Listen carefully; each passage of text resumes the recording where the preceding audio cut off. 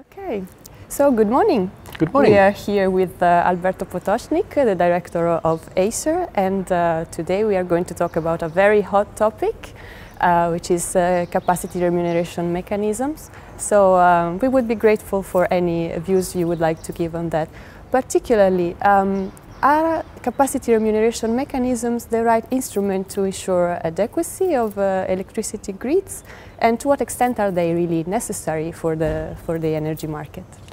Well, um, first of all, thank you very much for this opportunity. Um, this is a good question. In fact, it is the question, even though unfortunately it has been superseded by event.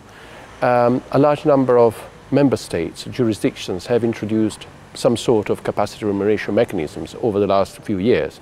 So while the issue of whether we need capacity remuneration mechanism is, I think, the issue, and we will be discussing today a lot about this, whether energy-only market can guarantee adequacy also in the future.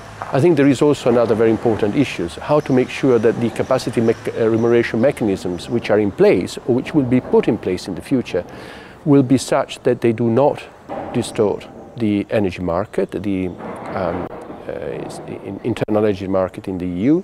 Uh, they, they, are fit for purpose, but without having any unintended or distortive effects.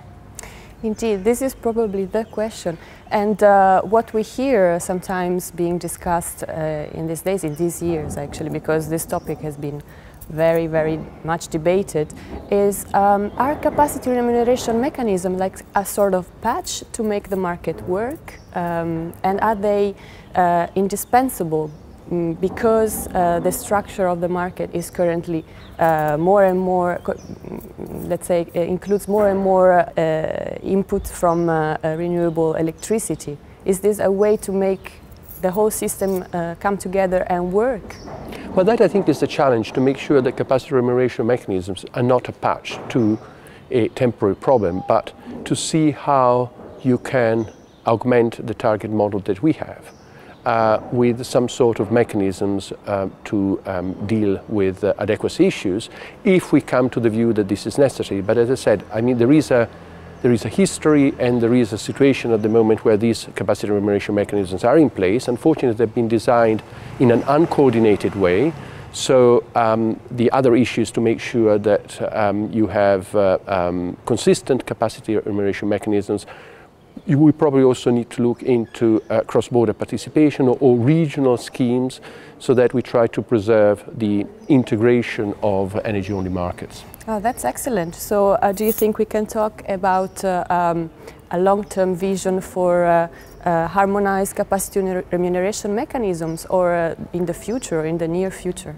Well, the Commission has already come out, I think, with two very important um, indications. First is that they want to establish a blueprint for adequacy mechanisms. So um, it would be part of an augmented target model in the future. I think the um, Energy Union communication gave the impression to someone that the energy, uh, the um, electricity target model was going completely to be rethought. I don't think this will be the case. I think it will be uh, a case of making sure that additional components of this target model, which has proved to be, for the components that it already has, um, very robust and suitable for and fit for the purpose.